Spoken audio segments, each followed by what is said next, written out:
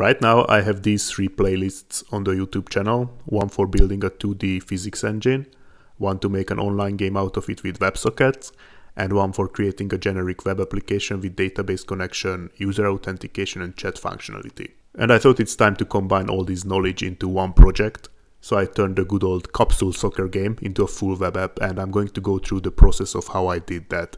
So this time it won't be a step-by-step -step tutorial because I'm using technologies I have previously talked about. I'm just trying to explain how I managed to make these work together inside of one app. So you can just sit back and relax while I'm talking. I even add some background music to increase the user experience as much as possible.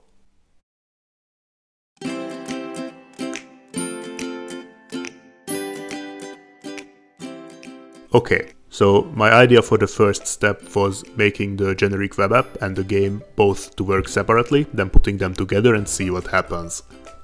I started with the blank MERN-Stack app, downloaded the source code from my GitHub account and went to the Mongo Atlas to create a new database and to get the connection string for the .env file. As for the database, I was thinking of having two collections, the users that stores username, password and the statistics, and the games which stores the results of every game. Although in the final version I didn't use the games collection, so now it's just there in the Mongo Atlas doing nothing. After defining the data scheme and the route endpoints in the backend, I went to the front end.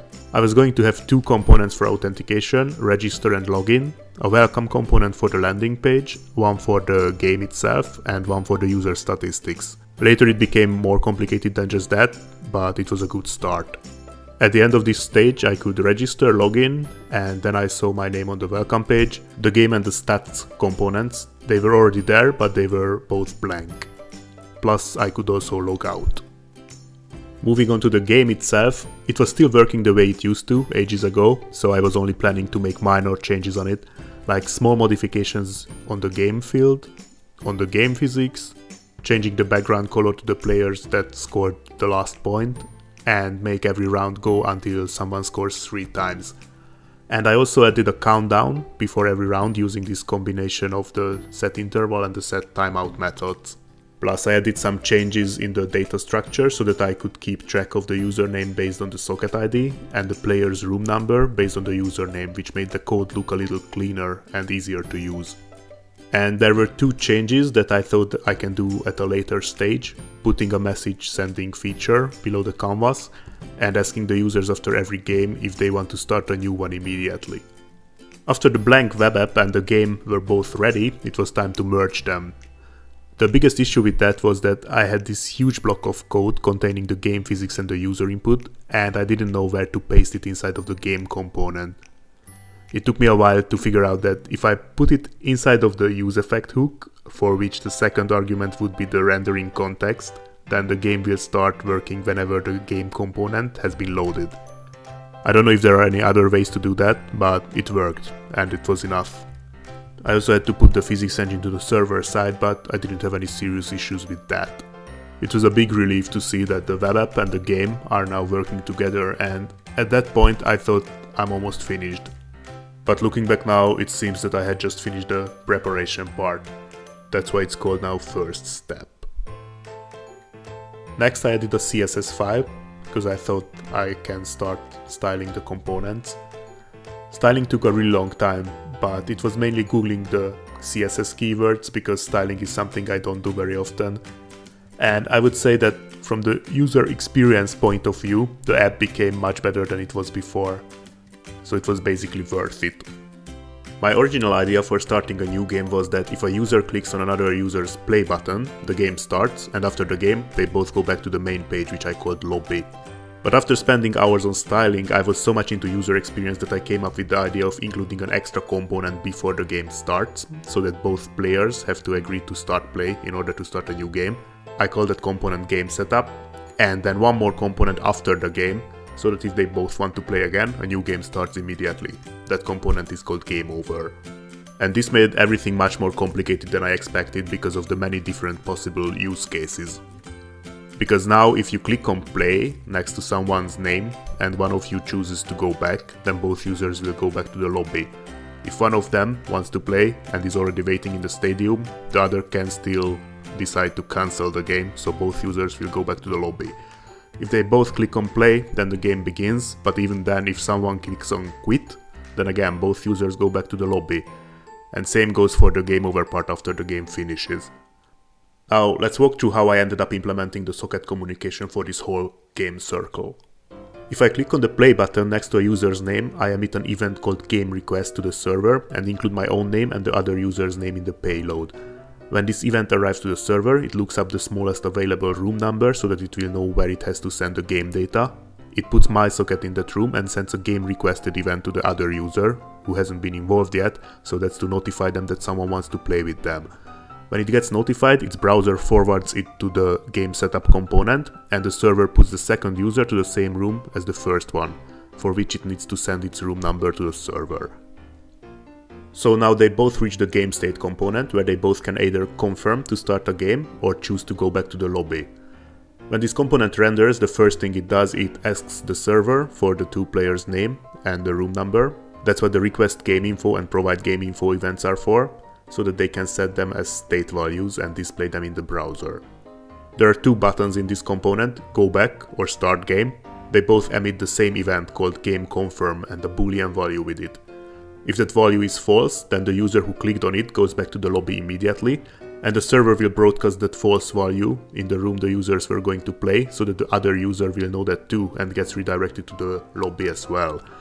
And since it's the last user in the room at that point, it also emits a cleanup room event to the server so that all the room data that has been created so far, like the list of the sockets, the list of the usernames, get deleted and the room will be ready for another game. But if both players start the game, the game component will render for them and there they both start by emitting an event called component ready to the server without any data when the server receives this event for the first time, it creates the first player and sets its ready property to true. For the second time, it creates the second player and sets the second player to ready. And once both players become ready, the server sets the game is on flag for that specific room to true and sends all the necessary information to the two users in the event called game setup. So when the users get the data, they can be sure that everything is ready, they create the client-side copies of the players for the sake of visual display, they do the countdown and then the game begins. The way the game works is the users keep sending the commands from their keyboards to the server, which simulates the physics, broadcasts the clients and the ball's positions to the clients, and takes care of the game logic.